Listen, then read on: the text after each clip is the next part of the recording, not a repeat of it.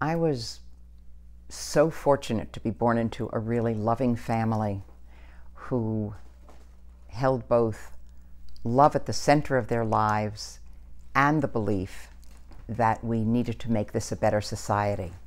So, in addition to just being a good person that they also believed in, my folks, they believed that we should actually take it into our hands to make this a better world, to treat all people with dignity and respect, and make sure the society was one which treated people with dignity and respect. So, with those values, um, I grew up first in Brooklyn, in Bensonhurst, in a community that I was very comfortable with. And then we moved when I was a teenager, in fifth grade, to the North Shore of Long Island. And I didn't quite feel that I fit in where we moved. And so I ended up seeking out connections and other friends from some other places who did share those same values. Some I met at camp, still friends with. In fact, one, Ann Popkin, I met when uh, we had been friends when we were teenagers, lost touch with each other a little bit, and then in 1964 met when we were both going down to Mississippi for Freedom Summer.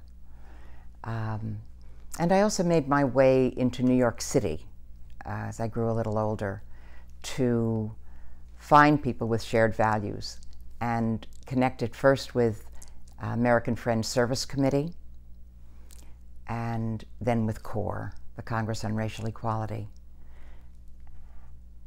And in my high school, I was involved in a wide array of activities from the yearbook and chorus, and there was even a little sorority. And I realized that each of them were excluding people who uh, didn't fit a standard norm. African American students, kids who seemed to be too fat, too thin, too pimply, too this, too that. And I left those organizations that wouldn't let others in and then made those people who were other my friends. We're the ones who sat down together at lunch. And I realized I had an association both with the other uh, and believed that we treat all people with dignity and respect both in our personal lives but also in our activities and what we do. About what year was this, or what years were these? I graduated from high school in 1963, so those were the general years. And I, I often say I was ready for the 60s before I knew the 60s were coming. and uh, were there any moments, like, did you see the freedom rides take place and see the violence? Did that whether it was the violence in Birmingham, the violence on the Freedom Rides, the violence that became so much of a part of how people literally began to view the movement in the early 60s, did that accelerate or enhance the kind of engagement that you found yourself getting into? Mm-hmm. When I was a teenager, my first grade teacher found me. I had been living in Brooklyn. We moved to Long Island.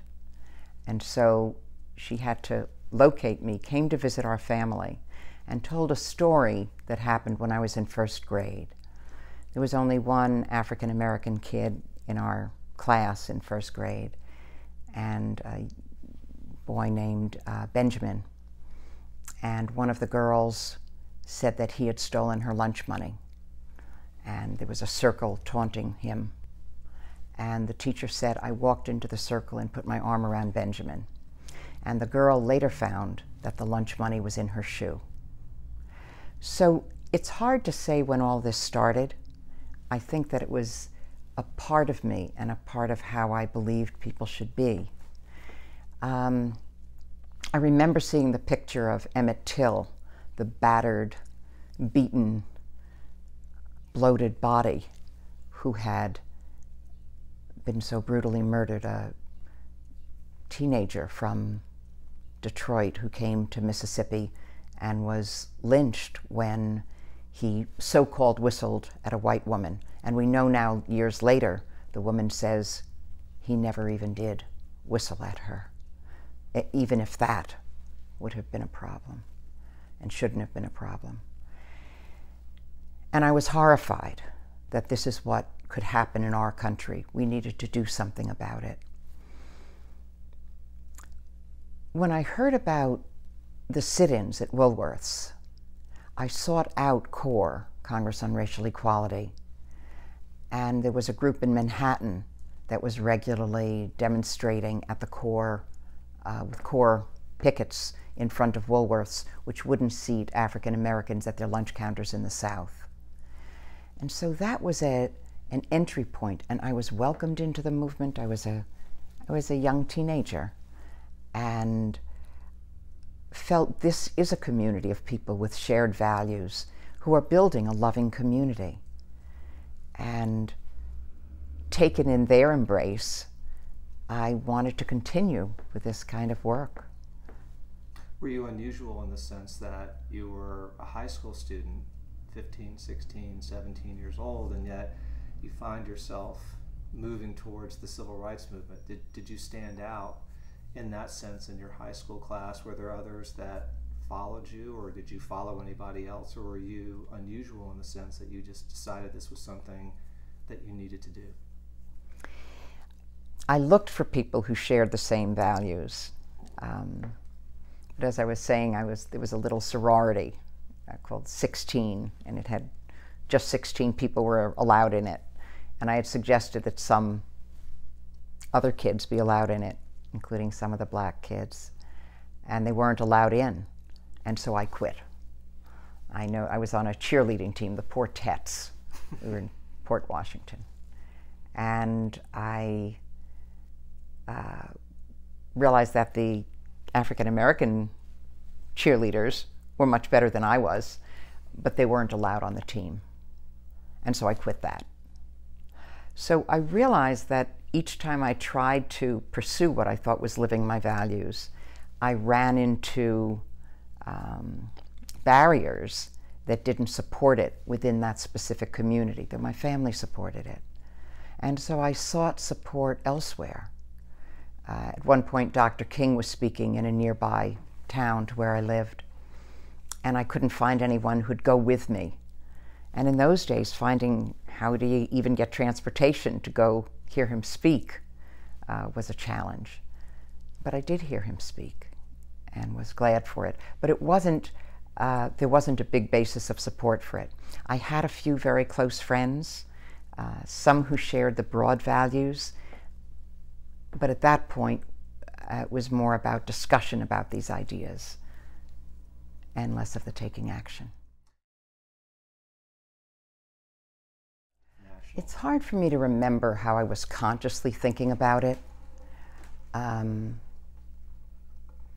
I did think that the explicit brutality that I was hearing about in the South, uh, say Emmett Till being lynched, others being lynched, I saw pictures of a man was lynched today from a different era.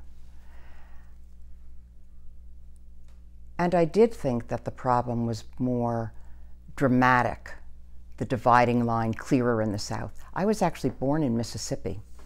My father was in the Army, and I was born in Brookhaven, Mississippi, when he was on an Army base in World War II. And uh,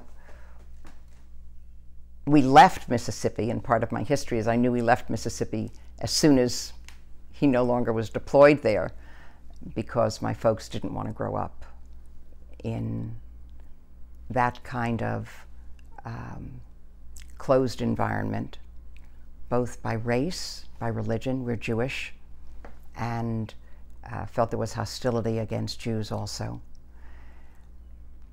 So, though I thought it was more extreme in the South, I certainly saw inequality, discrimination, injustice that I'd see in the North. I don't know that I had words to put to it or saw it as systemic uh, as I understand it now.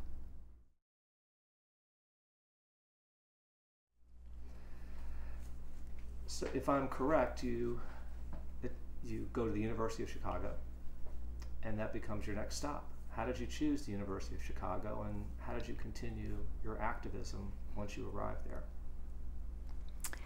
Um, I had interviewed at a number of colleges on the East Coast, and I had had this prior experience with a sorority. So I didn't want to go to a school with a sorority. I didn't want to go to a school where I felt people were in just a closed environment. So a school uh, that might have been away from a city uh, that didn't have an urban experience. The University of Chicago didn't have sororities. There's a story that um, one of the students, Ida Noyes, had um, pledged to a sorority, had wanted to be in a sorority, and then wasn't accepted and committed suicide. At least the rumor is, I don't know, apocryphal or not, that as a result, her parents created the student center called Ida Noyes um, in her honor. And I was very impressed with that. I also, I didn't go to the campus. I was interviewed at a distance because I lived in New York. And we had a great discussion about books and philosophy and about how the world should look and what morality was like. And I thought, oh, this is the place that I want to go. And at that point, the university was focused on the life of the mind. And I found it very engaging and exciting. And I came to understand, though, you need the life of the mind in a society, and the two need to be engaged. Once I got to Chicago, after the first week of being totally intimidated and wondering, did I really even belong? I was a pretty insecure person, and in some ways, I think I still carry that insecurity in the same way that many people feel I'm not good enough, I'm not smart enough, I'm not pretty enough, I'm not, I'm not enough. And so much of the society tells us we're not good enough.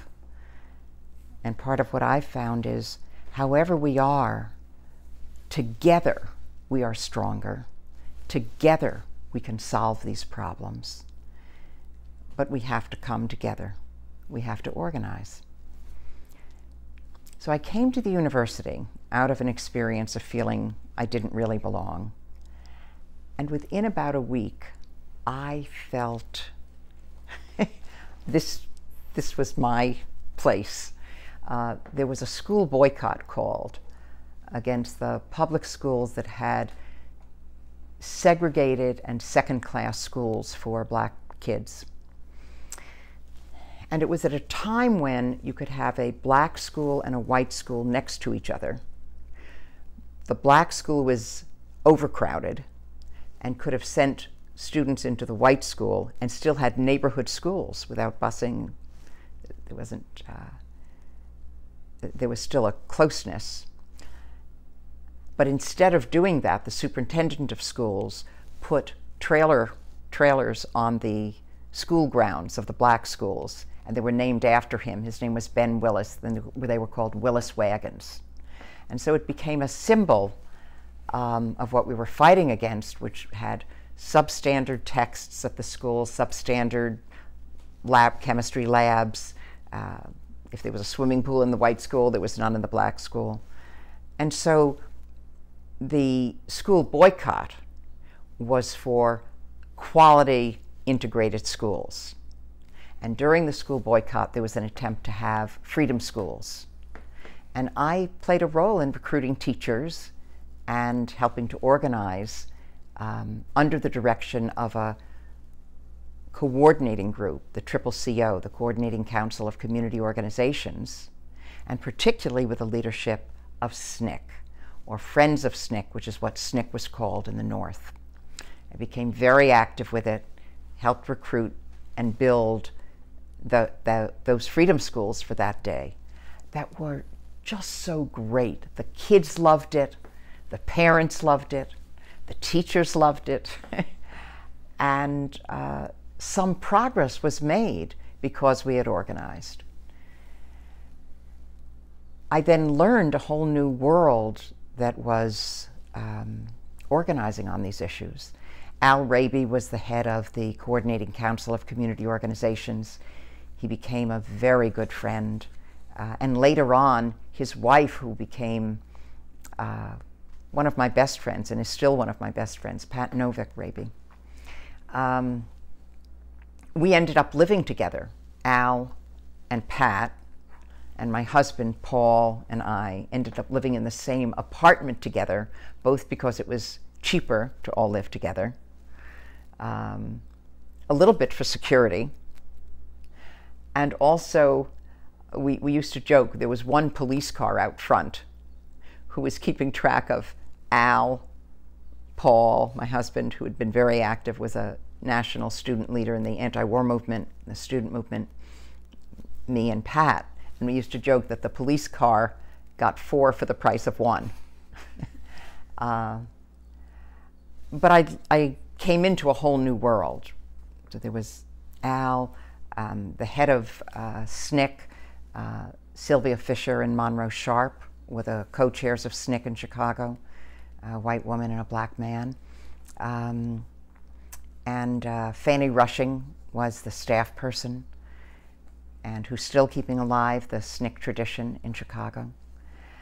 And I set up a Friends of SNCC chapter on my campus and became the coordinator of that and carried on the activities uh, from that uh, Friends of SNCC chapter, as well as other things on campus. I was involved in the student government, I was involved in SDS, I had set up what became the first independent women's liberation organization on a campus. Uh, and just, I loved this world. It opened up for me, and I fully engaged. So, 63 to 64, my first year, I was very active in a lot of things, but the civil rights movement through Friends of SNCC, uh, the anti war movement against the war in Vietnam, um, and the building of a new left on campus. The women's movement activity really started in 1965. There's a whole story to it that also is related a bit to SNCC. At a, at a crucial point, one of the SNCC organizers uh, played a crucial role. I'd like to back up a little bit and talk about Friends of SNCC. Uh, Friends of SNCC is something that people know of, but very few people, other than specialists and people who took part in it, know actually what it did. What did it mean to be a friend of SNCC on a Northern College campus? What, what kinds of things did you all do? The SNCC was the overall organization. It was largely uh, staffed by field staff who were full time, low paid, deeply dedicated front lines of the civil rights movement. $9.64 a week after taxes. uh, and were incredible organizers who went in and listened to people, who heard more than they talked, who um, then gave people a way to come together and take action together and gain confidence and gain victories. In the North, to distinguish from those who were the full time field staff, we had Friends of SNCC chapters, and those were designed largely to support the work going on in the South, but we also emerged into support for work on civil rights going on in Chicago. So we did fundraising uh, we had a uh, big event with Dick Gregory where we raised money to give to Amzie Moore, who really helped to initiate the voter projects in Mississippi. Um, we did demonstrations to create visibility for the issue. Uh, we would write up educational material. We had we were on campuses, so we often injected those issues into the coursework and had sympathetic professors use that as part of the coursework, but would raise it so that it was the life of the mind within a society. Um, and then we became knowledgeable ourselves on the issues and were able to talk about it. For several years, I was also doing national traveling, going to other campuses uh, and other places talking about our experience. This is particularly after 1964 when I went south to Mississippi.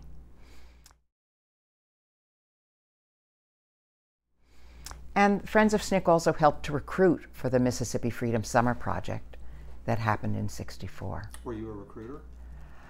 Or No, I was a volunteer. I actually was recruited mm-hmm. and I applied, but we also recruited other people, but as volunteers. I see.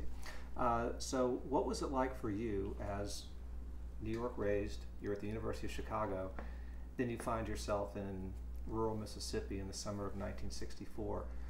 What was that like? Can you talk a little bit about everything from just being there, what you saw, and what you did, to some of the cultural dynamics that existed for a lot of northern students coming south for the right. first time? Well, first of all, there was a rigorous acceptance project uh, process. I'm not, I think I was borderline whether I'd even be accepted. You have to write essays, why do you want to do it? There were interviews. Uh, uh, Curtis Hayes, now Curtis Muhammad, was one of the people who interviewed me. Um, and he was, you know, really wanting to know would I be able to stand the rigors of the South and would I respect the people that I was living and working with and knowing that this was their struggle and they were taking the lead in their struggle. We then had a training session in Oxford, Ohio, and I was in the second round of training. There were two rounds going down. And it's particularly notable because um, while in the training we learned about nonviolence, we learned about poverty. We read Michael Harrington's The Other America, just about poverty in America. We had great speakers come about uh, the state of race relations in America, the legal status, the political analysis. That part of the reason we were going down was that there were these rotten boroughs. There were uh, places where African Americans were way overrepresented in the population for what they represented in the voting population, almost none, uh, because people lived in a state of terror. And poor black people lived in a state of terror. So we learned uh, technical skills, cultural background, political history. We learned relationships with each other. We learned what we do, what we would be teaching. We were teaching both uh, literacy uh, with a Laubach method for pe- so people could learn literacy tests to write their names uh, and when they register to vote. We learned, uh, we saw a curriculum that Staughton Lynd and others had developed of freedom school teaching that also was learning from people their own history so that the main lesson was people can make their history. We've made it in the past, we can make it in the future when we come together. Um, and we learned skills of nonviolent civil dis- disobedience so that we'd be disciplined and not jeopardize the lives of the others we were working and living with.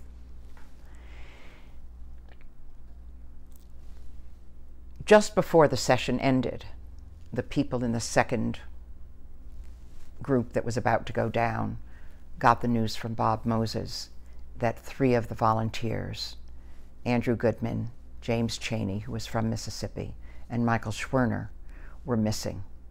They had been picked up by the local sheriff when they were investigating a church bombing and released at night. We knew it was dangerous.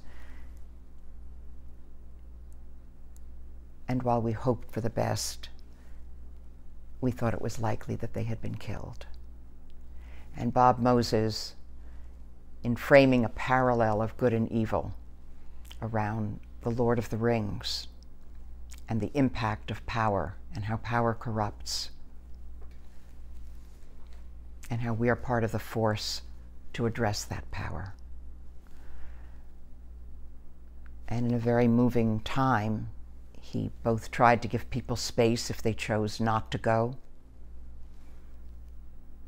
and wanted to know if we'd commit to go. I committed to going. When I called my folks, who I love dearly, just before I went, they were hysterical on the phone because they were so frightened. My mother was so frightened she couldn't really talk. My father was so frightened that he, one of the first times I actually remember him yelling at me.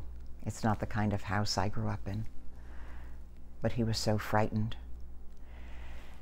But I went down the next day, so part of what was in my frame was both concern for the people I lived with. I didn't want to get any of them killed, concern for my parents, who I loved dearly, but felt our relationship had fractured over this. And going down, just trying to figure out what I could do that could be of any help. I was in three towns in Mississippi. The first was in Ruleville, where we met with Ms. Hamer, who, in fact, I've got a picture of her right there if you want, right there. If you, you can pull it over. You see right in the corner? So, Okay, if you show that to us. so Oh, wow. here's Ms. Hamer, uh, just outside of her home with two of her friends. And I was often the person playing the guitar uh, for the group meetings, uh, even though I didn't have a very good voice, but I figured I had the spirit to carry it along. And from Ruleville, we went to Shaw, a little town, and um, I stayed with a most remarkable family Andrew and Mary Lou Hawkins and their kids. The generosity of that family, the courage, the insights, the knowledge, the leadership that they provided uh, is breathtaking. I've never seen a greater demonstration in my entire life. And there were so many things I didn't even appreciate initially. I think we had four volunteers staying in the house. First of all, this family that had not many resources took in four volunteers.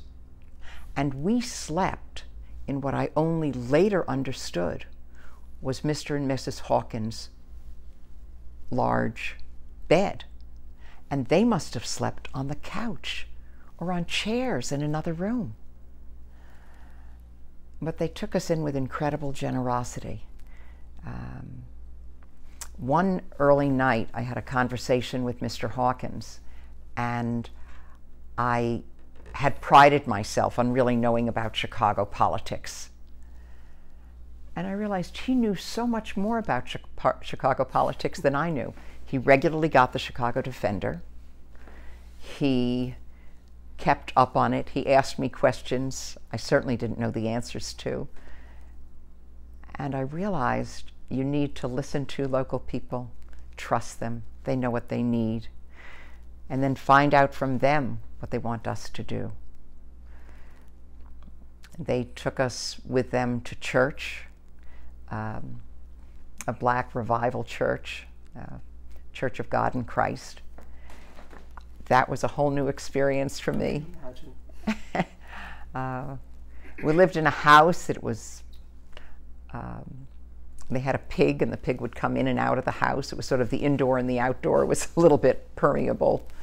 So Um, we're pretty far from Long Island at this point. Far from Kansas. Yeah. And they had an outhouse. They had running water in the house, but had an outhouse. Um, and their love really was transformative. After the summer, the Hawkins family joined in with some other families in Shaw and sued the town of Shaw for unequal facilities that were in the white part of town and in the black part of town. The black part of town had no paved roads, no sewer system, no indoor toilets. Um, the white part of town had all of that and more.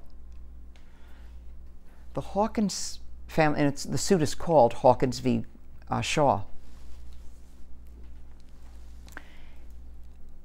The Hawkins family and the few other families won the suit, going all the way to the Supreme Court. And there's some who think that that case is as significant as Brown versus Board of Education. After the lawsuit, their house was firebombed twice.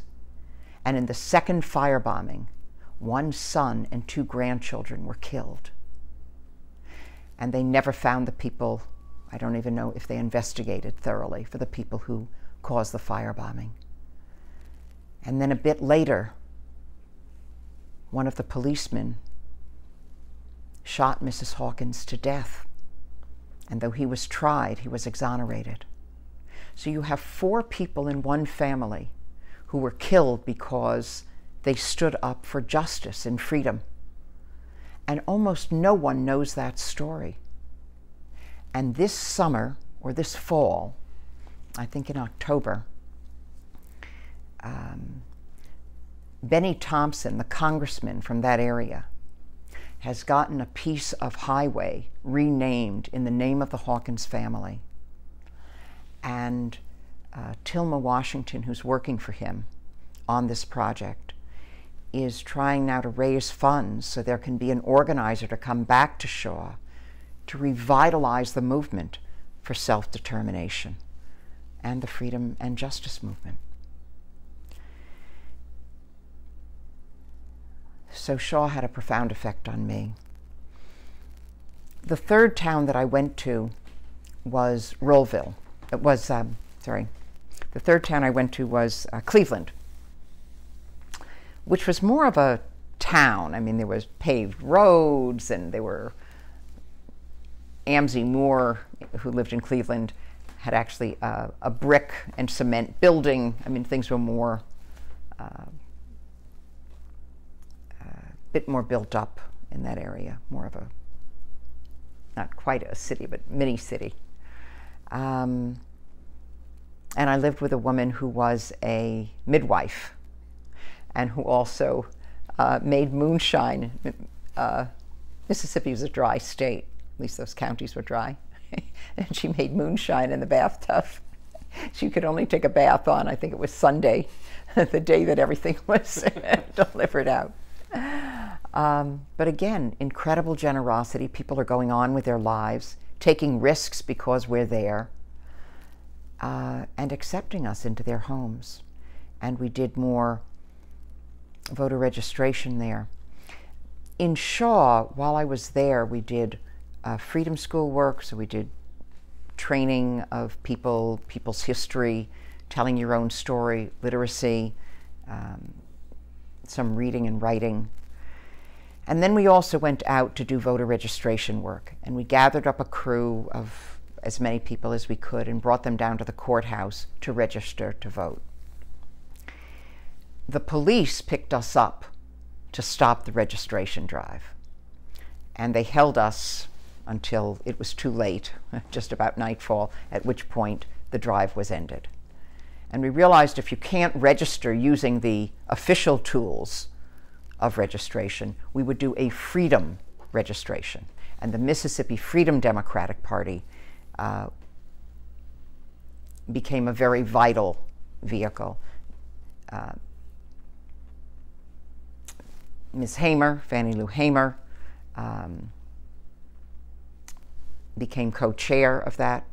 So you had a white reverend and a black former sharecropper who became co-chairs. And we'd go out to get people to register in the Mississippi Freedom Democratic Party. And then it was organized by town, by county, and by state, voting who they wanted to represent them at the National Democratic Convention in Atlantic City. And at the end of the summer, as the Mississippi Freedom Democratic Party came to Atlantic City, um, the Freedom Democratic Party was offered two seats as a compromise, which was an integrated delegation as opposed to the all white delegation. And Ms. Hamer, with the moral clarity that she always had, said, We won't take two seats because we're all tired. And it didn't win that day, but it did rivet the consciousness of a country. It did change the rules of the Democratic Party, so you now have integrated, racially integrated, and later gender integrated uh, delegations to the Democratic Party, and you can just see it at these conventions. you look at the Republican Party and the Democratic Party for who's seated and who's not, and in one room, you have an integrated room, racially integrated room with multi uh, faceted uh, backgrounds. And in another, you have basically a white population in which uh, there's a search for where is that African American? Where is? So change was made because people organized. And then after 1964, within a year, there was a Voting Rights Act. And so even when things seem most hopeless, even when lives are taken, even when people live in terror and you almost can't see a way out, there is a way when people organize, but we have to organize. It doesn't happen naturally. And I think the most important lesson for these students that are watching this is that if we organize, we can change the world, but we need to organize. Among the other great lessons I learned from Mississippi, and there were many, one was sometimes there's illegitimate authority and you have to stand up to illegitimate authority. You may even have to break a law if it's an unjust law. I learned how much we need to trust local people. People know what they need if given just a little bit of help and a chance to get together. And people's courage and generosity can really start to mirror the beloved community that Dr. King talked about.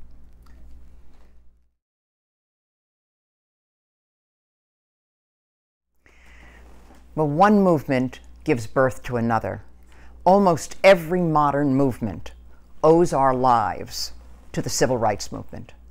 And partly it was because of the incredible courage and uh, brilliance of the civil rights movement, but also it's because the civil rights movement in the 60s came out of a period of uh, McCarthyism and quiescence, uh, political quiescence, with a lot of work going on but not visible because McCarthyism drove out some of the most vital portions of the progressive movement with a scare that that person's a socialist, that person's a communist, that person's not to be trusted. Oh, you're against lynching? You must be a communist. Oh, uh, you want to raise issues about wages of, of uh, farm workers in the South? Oh, uh, maybe you're a communist. Oh, you once went to a meeting with someone who. So this guilt by association, uh, in which people were fired, some people were hounded so much they committed suicide. People went underground, had to have a new identity because you couldn't hold a job in your old name, uh, in your real name, uh, because of this period of McCarthyism and the Red Scare.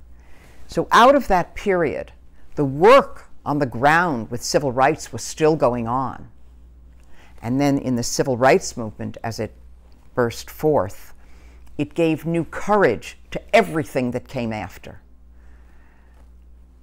One of the movements that it helped to, to, uh, to birth was part of the women's movement.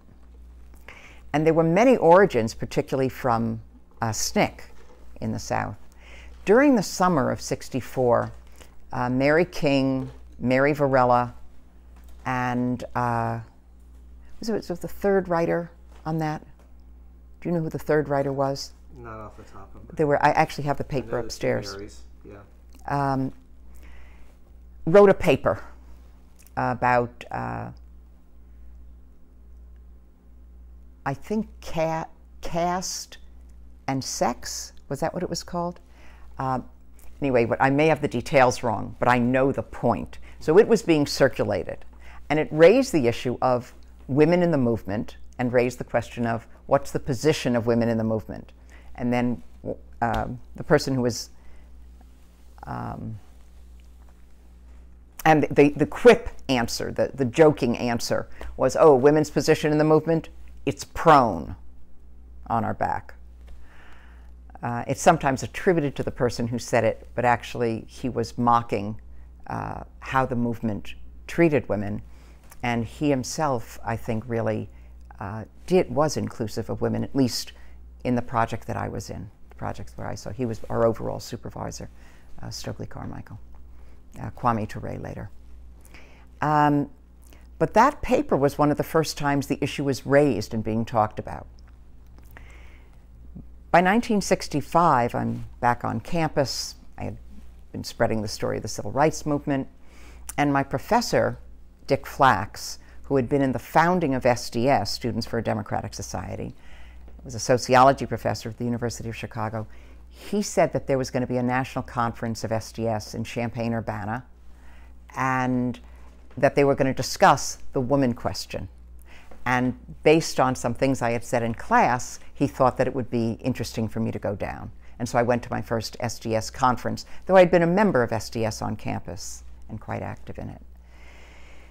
During that conference, there was a many hours discussion about women, women's roles, and the women would say, I sometimes feel you don't listen to me, and the men would say, Oh, that's not true. or the women would start talking and the men would interrupt. And three of uh, three SNCC organizers, led by Jimmy Garrett, who was a uh, terrific SNCC organizer, got up and said, the women aren't going to get their act together until you go off by yourselves and talk by yourselves. And so he left with his two, two uh, men friends. And at first I thought, oh no, we're black and white together, we're men and women together, we can make this all work. And then after about another hour, I realized he was exactly right. We just can't make progress unless those who feel the problem most directly can talk with each other. We went off as women. Uh, when we went back to our towns, and I came from Chicago, I started women's liberation groups on campus and then in the town overall, in the, uh, my community overall. Um, and set up the, the um, WRAP, Women's Radical Action Program. And one of the reasons that we set it up is I had been speaking in a, an SDS gathering on campus, and when I was talking, one of the guys said, Ah, shut up. And I was so shocked that he'd treat anyone that way. And I also felt he shouldn't treat me that way. I tapped all the women on the shoulder when I was done speaking and said, Let's go upstairs. We did. And we formed this group, Women's Radical Action Program. And the name came out of um, Students for Democratic Society had community organizing groups called ERAP groups. Um, and there was one in the north side of Chicago called Join, uh, Jobs or Income Now, stood for, uh, that was working in a white Appalachian part of the city. Um, and that project did things like studied what we called significant response. How often did a teacher respond to a man student and a woman student? So the teacher might go, uh, John, what do you think? John say something, and the teacher would say, Oh, that was very interesting, and have you considered this or that? Uh, Bill, what do you think? And Bill would say, and say, Oh, I don't think that that really works because what about this? Sue, what do you think? Robert, what do you think? As if Sue didn't even exist. And we call that significant response. And it was a four to one significant response for men versus women. Then we released the study, we had it discussed in classes.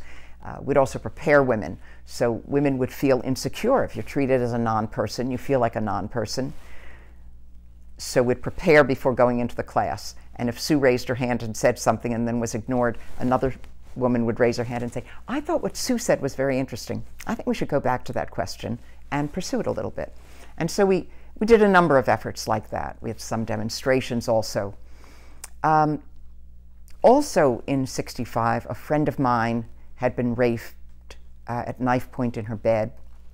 When we went with her to student health to get a gynecological exam, she was given a lecture on her promiscuity and told student health didn't cover gynecological exams.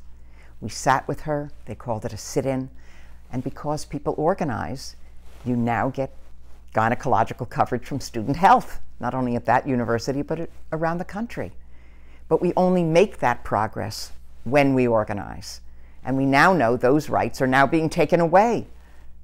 But we can make progress when we organize.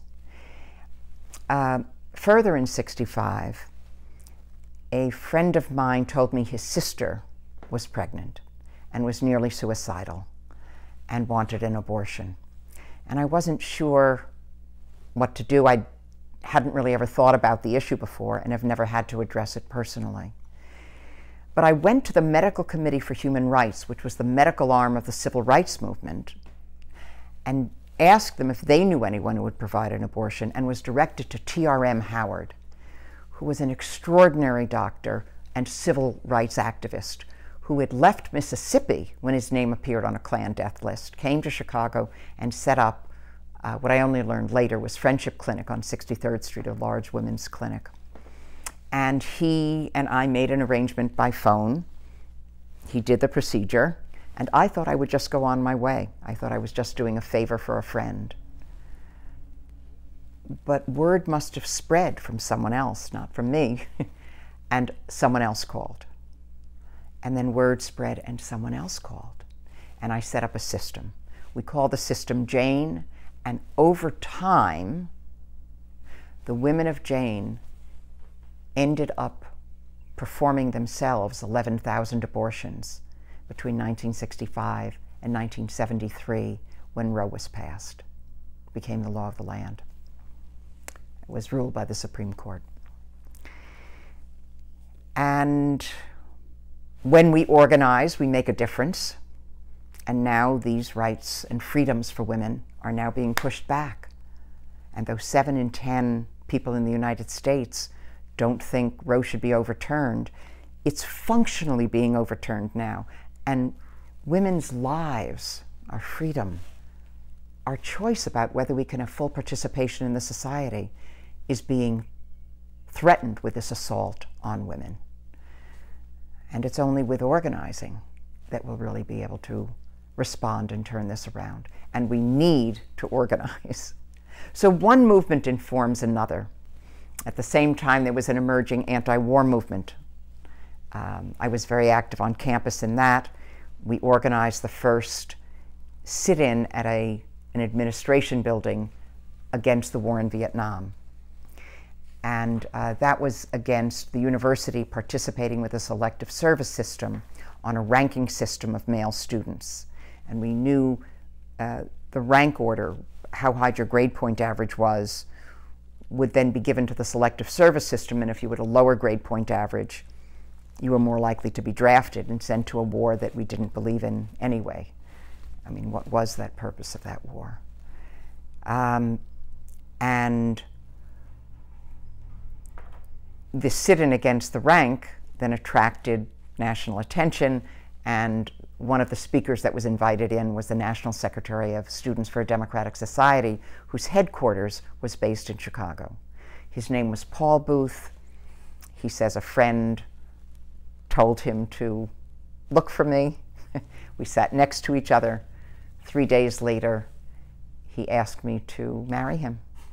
Five days later, I said I would if we waited a year.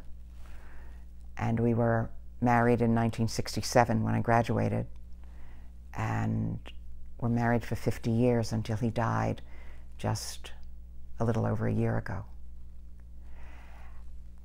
And we were movement partners. And even in the last day of his life, he died unexpectedly. We knew he had been ill, but didn't think it was that serious. I had signed up for a civil disobedience uh, on behalf of Dreamers. It's called uh, Jews for Dreamers. It's going to be a faith-based support for Dreamers. There were probably 80 rabbis and other clergy there. Um, and tell us who the Dreamers were. Oh, the uh, they're the uh, undocumented young people who are students and by uh, and we're looking for a way to be able to stay in this country and have at least a protected status and uh, have so many dramatic stories. And of course, Trump has undone uh, any protections or promise of any protections for Dreamers. I wasn't going to go to the sit in once I knew my husband was ill. He said, No, no, no, you really should go. I went to the sit in. It got a lot of attention. I come back to the hospital. Paul is in a great mood. He's feeling uh, terrific on seeing the, the pictures of the sit in and seeing the visibility and showing it, in fact, to the nurses uh, some of whom themselves are immigrants. and sending the pictures around. And then uh, within an hour, he, he died very unexpectedly. And I mention it partly because the last joy in his life was his pleasure at seeing that, in effect, we were both taking action to support another generation in search of freedom and justice. And that's what we lived our life for. And I hope in part through this video and the kind of teaching you did, and certainly by the life that Julian Bond led, I hope others learn the lesson of how our lives can be enriched when we ourselves are part of this struggle for justice and freedom.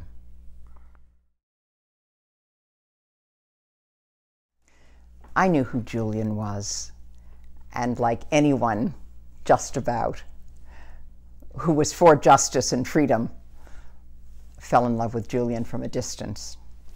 Um, I admired him, admired his work, had heard the story about him not being seated uh, in the Georgia legislature and then winning.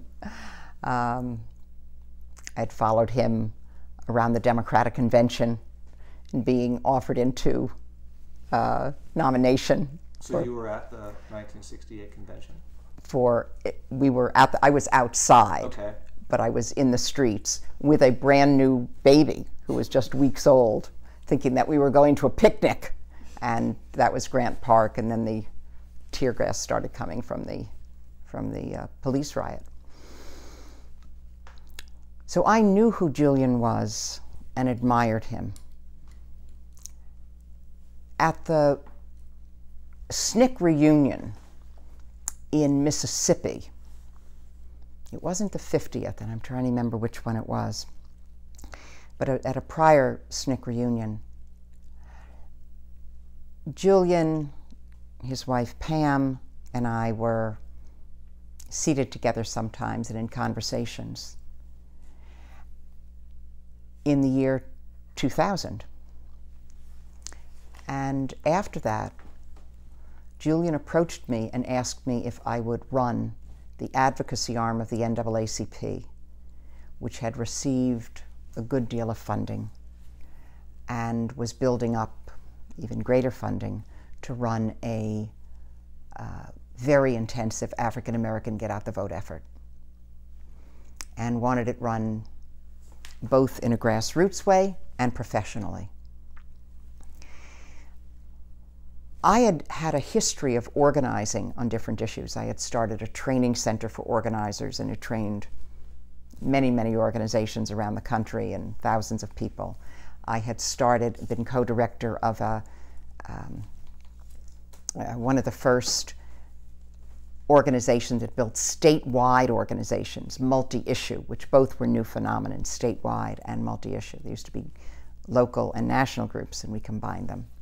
Um, I had helped to play a role in uh, helping to build the working women's movement and other efforts. And then after Reagan was elected, I became involved in politics, was very active with Mayor Washington in Chicago, and then in other Chicago campaigns. And then by 93, I had just run the field campaign for Carol Moseley Braun when she ran and won for Senate in, uh, from Illinois. Uh, in 93, I went to work at the Democratic National Committee, first to help set up a field effort, and then I did outreach as a single payer advocate, but for the Hillary Healthcare Plan, and then became the training director, and had run a very large scale training operation. And this is all during the 1990s? This is 93, 94, 95 through 98. Okay. So it was just before I met Julian. And he asked me then if I would run this uh, Get Out the Vote arm. And they'd set up a new organization, NAACP National Voter Fund. I tried to find someone else who could run it, but it was late. It was already July. And or end of June, beginning of July. And uh, I couldn't find someone to run it. also, it sounded like out of the blue. and I agreed to run it and spoke to and had Julian's support. They set up a five person board. Um, and it was an extraordinary effort. And Julian's leadership was extraordinary. He was exactly the kind of chair you wanted someone who informed you, ensured you were accountable, and gave you the room to actually implement the program that could really work. And we created a massive effort. Uh, we were in about 30 states in, with grassroots effort. We had thousands of volunteers around the country. We had um, 80 people who were stipended to us in coordination. We only had five people on the central staff, so it was a very small operation where really the effort worked out in the field, partnering with the NAACP, uh, which was the legal uh, C3 organization to the C4 organization that was moving out uh, on this larger get out the vote effort. And I'm told that there was, we increased African American turnout by over a million votes. We increased the turnout in Florida by such a high percentage that it's why George Bush decided he had to steal the election because the African American vote was so extraordinarily high that it hadn't been expected.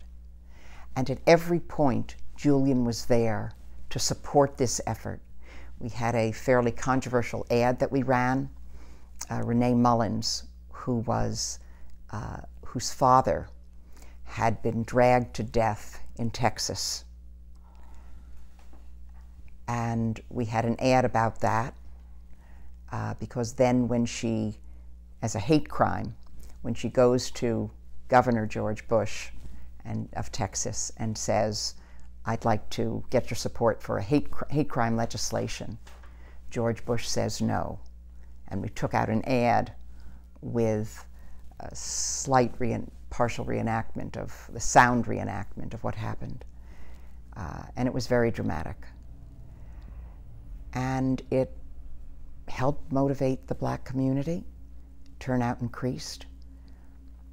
We know Bush stole the election, and so we weren't successful. We didn't do enough on voter protection work, which we now still need to do.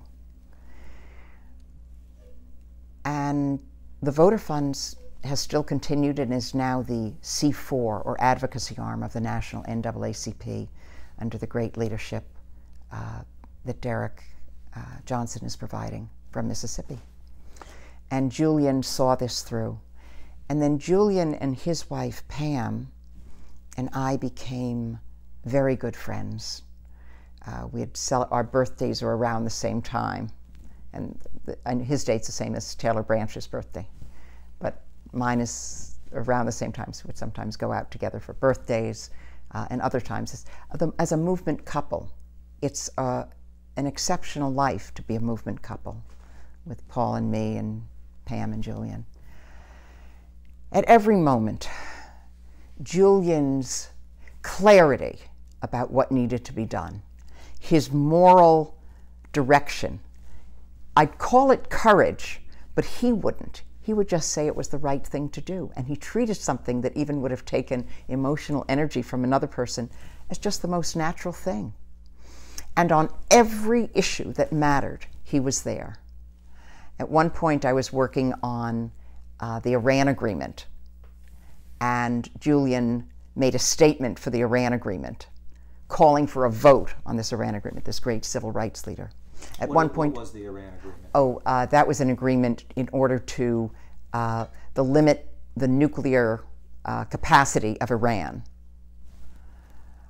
There was a, an agreement that was in operation until uh, the current president, withdrew from it, bringing us closer and closer and to a verge of war.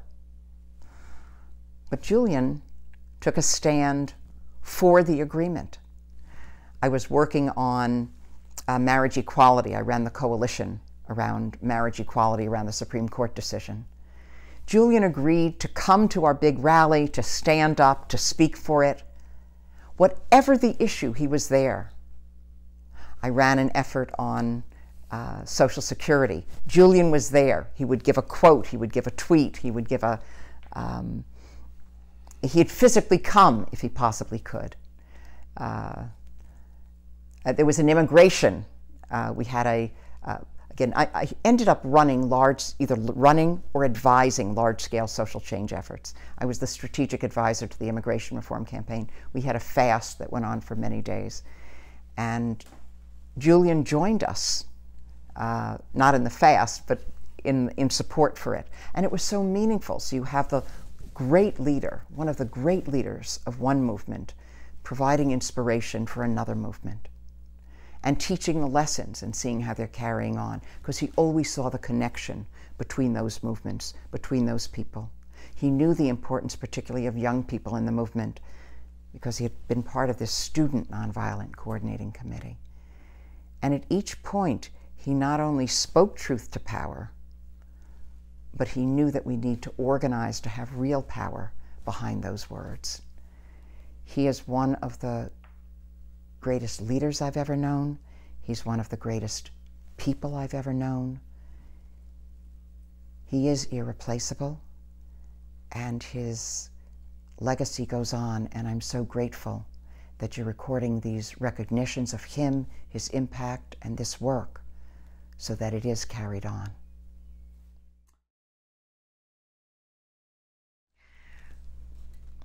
Julian was also one of the greatest human beings I've ever known. Both a regular person and a superhero, both at the same time. Superhero to others, regular person to himself. He always had a, a mocking sense, uh, loved a good joke, um, and took things deeply seriously. His impact on civil rights, on equality overall, and on marriage equality will leave a lasting legacy. He did this extraordinary effort, which helped to lead the NAACP into support for marriage equality. And by his presence and his actions, help to raise and elevate the need for racial equality within the LGBT movement. And so wherever he went, he was a Johnny Appleseed, or maybe we can just say, maybe we can aspire to be a Julian Bond, supporting movements, supporting people, and out of both love and hate for the indignities that people face, find ways to bring us together and move us forward. I miss him dearly. The world misses him. We need more of him now, and we need all those watching this video to go out and take up that spirit.